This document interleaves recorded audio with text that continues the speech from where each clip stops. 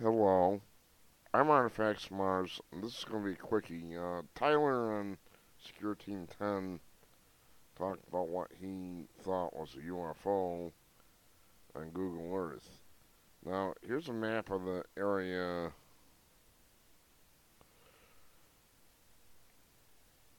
You can see that this is broken, this general area is all broken up. There's a lot of human habitation in the area. I'm going to show you the anomaly in a minute. I don't believe it's a UFO at all.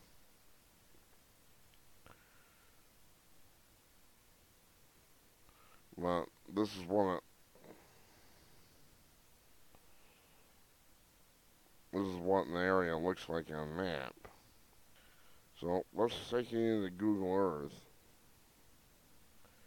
And here's the anomaly that Taylor's son thought looked like a UFO.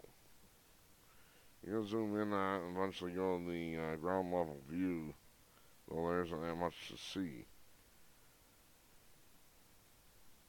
In my opinion, this is probably a series of shacks. It doesn't appear to be a UFO, per se. It is sitting on the ground after all.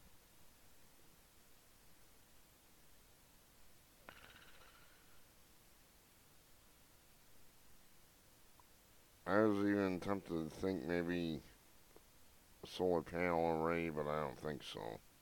It wouldn't be typical. My guess is that this is a series of shacks or something built into the jungle. Maybe they're natives. I don't know. Now, why did I say it's... Well, how can I say that when it's out in the middle of the jungle? Well, let's take a look not very far away. And this is south of, where, south of the anomaly. We can see clear signs of human habitation. The area is inhabited, folks. Need I say more? I'm not trying to steal Tyler's thunder, but I think we just have maybe a small settlement. It does raise my uh, weirdness meter about 10% because it's straight and everything's right in a row like that. And they don't, and they kind of look rather odd as far as the way they're standing up, but the resolution is so bad that I can't tell anyway.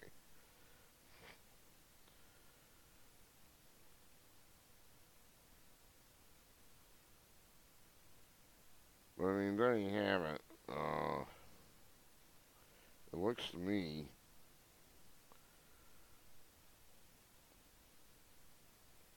do the ground level view if I can get it to cooperate. You don't get much out of that. But you can see that on the ground level view we have what looks like flat rooftops. Now, it's gone nuts on me. So, anyway, no UFO this time, I don't believe.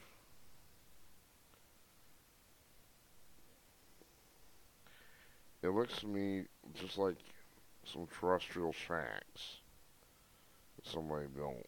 More than likely. There is human habitation near this area. The thing would just stop and get a better look at it.